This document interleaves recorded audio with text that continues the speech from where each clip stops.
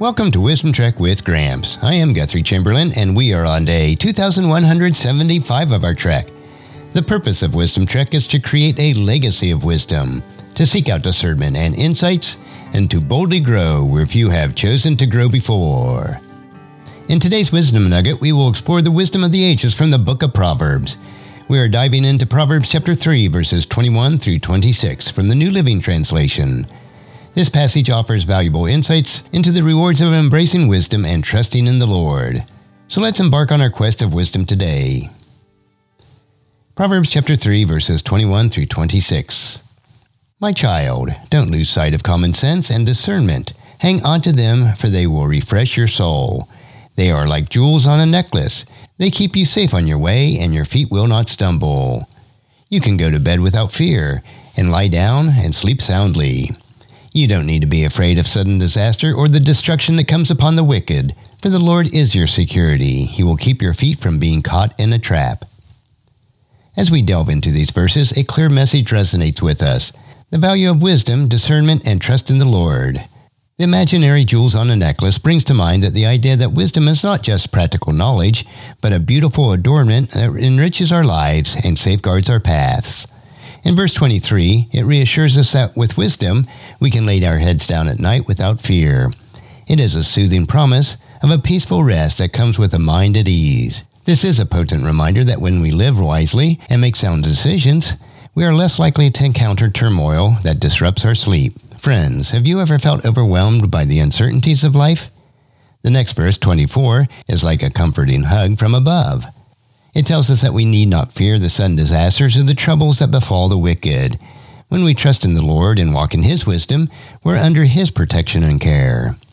Now, in verse 25, it underscores a sense of security. Picture this a life where we are free from the paralyzing grip of fear. It's like a shield that guards against anxiety. As we seek wisdom, it is though we are wrapping ourselves in a cocoon of God's loving assurance. And finally, in verse 26, is a beautiful note to end on for the Lord is your security. These words are a rock solid foundation on which we can build our lives. When we entrust our paths to the Lord, we can confidently navigate through life without being ensnared by the traps that might lie ahead. So, how do we apply these timeless truths to our modern lives? Let's break it down. First, let's make it a priority to cultivate common sense and discernment. These qualities are more than just practical knowledge, they're more like treasures that guide us through life's twists and turns. Second, embrace the promise of a peaceful sleep. As we make wise choices and trust in God's guidance, we can rest assured that He watches over us even when we sleep.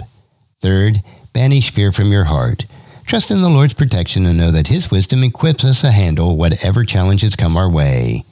And finally, build your life on an unshakable foundation of God's security. When we rely on Him, we can confidently navigate the complexities of life without stumbling into traps. As we apply these verses to our lives, may we experience the true peace that comes from walking in wisdom and trusting the Lord. As we continue our journey through Proverbs, may we embrace the Lord's discipline, seek wisdom, and marvel at the wonders of His creation. Until next time, keep trekking wisely. Every step that we take on this trek brings us closer to a life filled with wisdom. Remember, as we journey toward wisdom, let us trust in the Lord wholeheartedly and live lives that honor Him in all that we do. Thank you for joining me for their Wisdom Trek today. If you found this podcast insightful, subscribe. Then encourage your friends and family to join us and come along with us tomorrow for another day of Wisdom Trek, creating a legacy. And thank you so much for allowing me to be your guide, your mentor, but most importantly, I am your friend as I serve you through the Wisdom Trek podcast and journal each day. And as we take this trek of life together, let us always live abundantly love unconditionally, listen intentionally, learn continuously, lend to others generously, lead with integrity, and leave a living legacy each day. I am Guthrie Chamberlain, reminding you to keep moving forward, enjoy your journey, and create a great day every day. See you next time for more daily wisdom.